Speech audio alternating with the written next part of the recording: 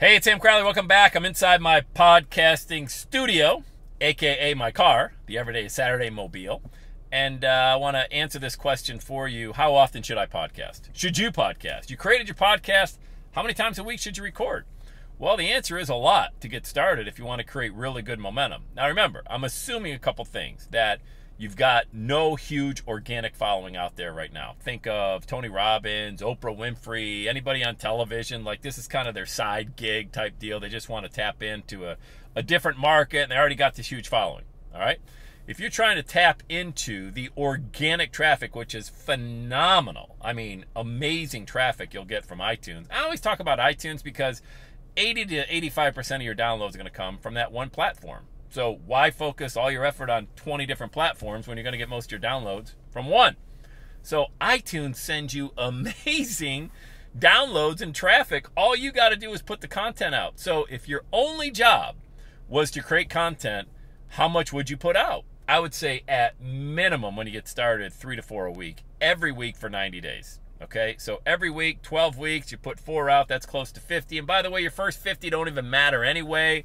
It's you practicing, finding your voice. Don't get tripped up on is it perfect. Perfect is really the number one cause for procrastination. All right. There, there is no such thing as perfect, it's a subjective term. So pump the content out.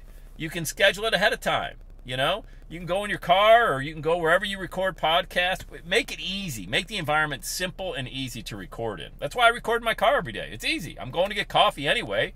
I pull over in the parking lot and I record an 8 to 10 minute podcast every day. 20 million downloads just doing that. Do simple better. Create an environment that's going to allow you to pump out the content, find something to talk about, record on your phone, grab a microphone, plug it into your computer, however you want to create an audio file, and get it done. And you can do them all ahead of time. Example, maybe uh, you've got some downtime on Sunday nights between 5 and 8. Well, record four episodes Sunday night.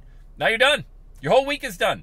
And that four 10 minute episodes, that's 40 minutes. That's it. You only got to create 40 minutes of content.